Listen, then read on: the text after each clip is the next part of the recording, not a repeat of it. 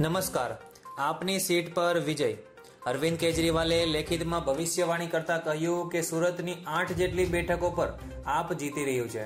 કથિરિયા અને ગોપાલ ઇટાલિયા સહિત ઈસુદાન ગઢવી પણ જંગી બહુમતીથી જીતશે તેવું લેખિતમાં મીડિયા સામે રજૂ કર્યું હતું. મહત્વપૂર્ણ છે કે કેજરીવાલે આપની સરકાર બનતી હોવાનું લેખિતમાં ભવિષ્યવાણી કરતા આપ્યું. પ્રચારમાં હીરા બજારમાં ઉતરેલા કેજરીવાલે એક હીરાના કારખાનેની મુલાકાત લીધી હતી.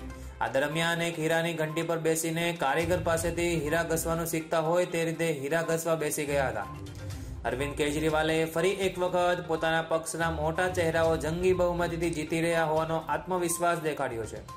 પાટીદાર પ્રભુત્વવાળી બેઠકો પર ઊભા રહેવા ગોપાલ ઇટાલિયા અને અલ્પેશ કથિરિયા વરાછા બેઠક પર તથા મનોજ સોરઠિયા સહિતના આઠ જેટલા નેતા સુરતથી જીતશે. અરવિંદ કેજરીવાલે પણ કહ્યું કે અમારા તમામ સર્વેમાં મહિલાઓ અને યુવાનો અમને વોટ આપશે. અને મહિલાઓ અને યુવાનોને વિનંતી કરીએ છીએ કે આમ આદમી પાર્ટીને વોટ આપે. ધન્યવાદ. જય હિન્દ.